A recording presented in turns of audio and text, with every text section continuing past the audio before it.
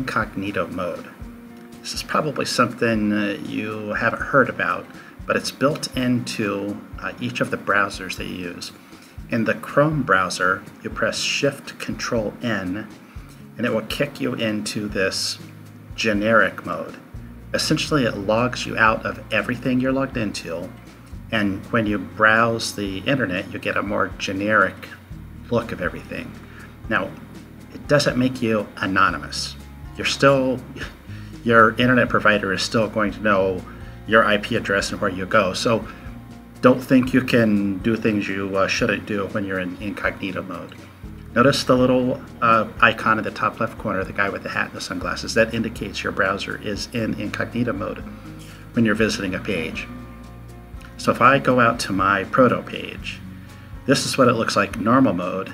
Incognito mode, it logs me out and it tells me if I want to see this page, I have to log in. Notice the URL is exactly the same. The only difference is the one that doesn't know me, I am incognito.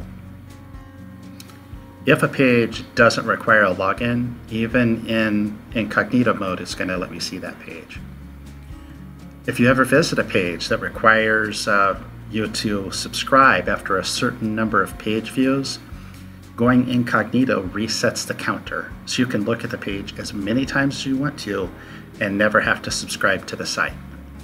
Or if you share something with the public, let's say through Google, Google Drive, and you don't know what it looks like to the public, you can go incognito to check the settings. Here, if I try to open the handbook, I can see the handbook, even though I'm not logged into the site because this particular document was shared with the public through Google Drive.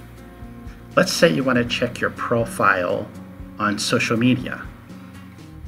This is what my page looks like uh, when I'm logged into Facebook. If I copy this URL, that's my URL in Facebook, and then go incognito, I can see what someone who isn't even logged into Facebook can see.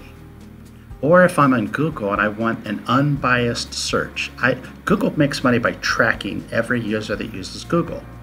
So if I want to see what Google shows me when it's not tracking me, I can go into incognito mode and get a, a generic experience.